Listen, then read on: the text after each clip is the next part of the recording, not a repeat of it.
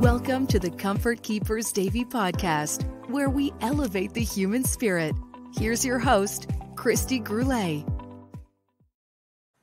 Hello, everyone, and welcome to another episode of the Comfort Keepers Davie podcast. I'm your co-host, Jeremy Wolf, and I'm joined by, of course, your host, Kristi Gurule. Kristi, I say this every time, always a pleasure to see you, but it truly is always a pleasure to see you. How you been? Good, good. Happy Monday. Happy uh, fall, right? Since last we spoke, we're now officially into fall, which is exciting. Yeah, holiday time. Let's let's get excited for that. It'll be fun, fun, fun with the family.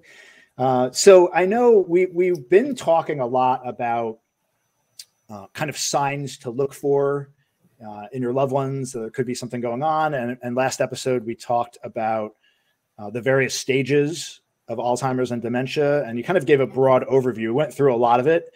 What yeah. I thought we would do is kind of hone in a little bit and talk a little bit more in depth about these specific stages so that people know not only what to look for, but also what to do when they encounter something that could be an issue. So, why don't you share with the listeners a little bit about the early stages, right? Like the before before you would even come into the picture, notice right. something going on with uh, mom or dad, whatever it is, what are some things that you can do early on to, you know, combat this from moving forward?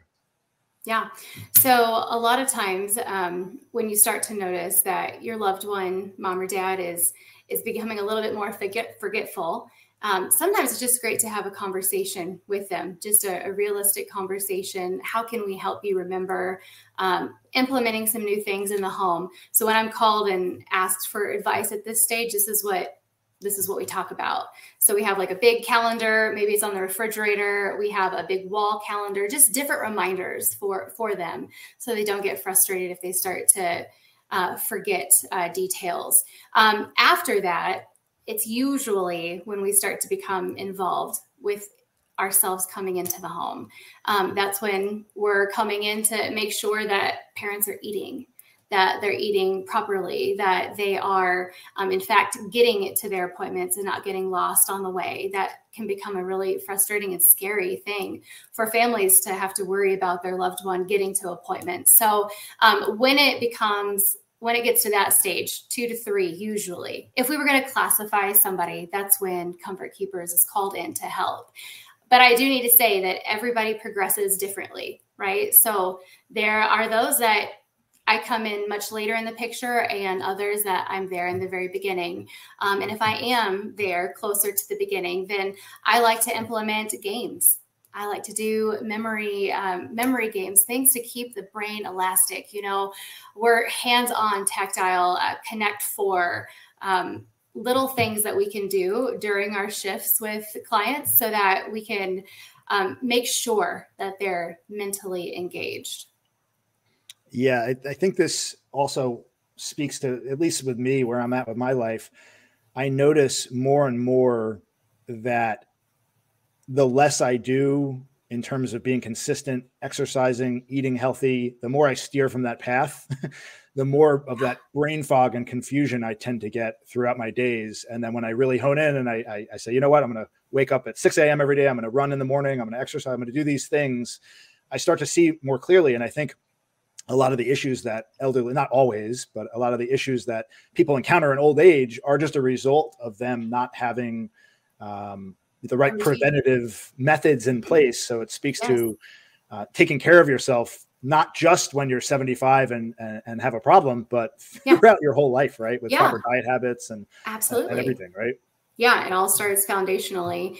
And um, I think that once something is implemented, it needs to be very routine because that's something that also helps with memory we're going to remember that we're coming in a couple days a week. And even if we aren't there, but families doing something that they stick to a routine to also help, um, again, just that foundation re encouraging and strengthening.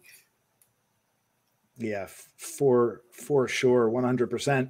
So any anything else you'd like to share about kind of this early stages uh, signs to look for, things like that? Anything you'd like to share before we wrap up? well, I think that the last thing that I'd say is that, you know, just self reflect, right? We don't like to say when we're having a problem with anything, right? That's that tends to be the case when you address something that you're seeing and they really don't want to cause any additional stress on you. So when there's denial, it's just, just just be gentle. Just be really soft in the conversation. I have a lot of family members that want to talk to me about how do you talk to them? Because they deny that they have the problem that i'm seeing that they're forgetting things. Just gentle reminders. How can you be more involved in their day to day without becoming the parent yourself of your parent? Um, and it all starts with just really soft conversations. All right Awesome. So we'll we'll wrap it up there, and I think um, we can get into some of these other stages in a little bit more depth moving forward. So we shall do that. Kristi, always a pleasure. We'll uh, I'll see you very soon. Very very soon. Thank you. All right. Bye. Thank you for listening to the Comfort Keepers Davie podcast. For more information, visit comfortkeepers.com or call 954 947 7927.